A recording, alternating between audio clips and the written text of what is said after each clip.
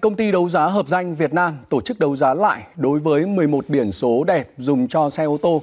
Trong buổi sáng nay đã tiến hành đấu giá hai biển số của tỉnh Phú Thọ và thành phố Hà Nội. Có đầu số là 5 số 5 hay còn gọi là ngũ quý. Trong chiều nay có 9 biển số đưa ra đấu giá, trong đó có 4 biển số đẹp của tỉnh Bắc Ninh, Thanh Hóa, thành phố Hồ Chí Minh và Bắc Giang. Việc đấu giá được thực hiện trên trang thông tin đấu giá trực tuyến của công ty đấu giá hợp danh Việt Nam. Theo thông tin sơ bộ trong buổi sáng nay, hai biển số đem ra đấu giá đều được đấu giá trúng, cao gấp nhiều lần so với mức giá khởi điểm là 40 triệu đồng. Theo quy định hiện hành, việc thí điểm đấu giá biển số đẹp sẽ kéo dài trong 3 năm.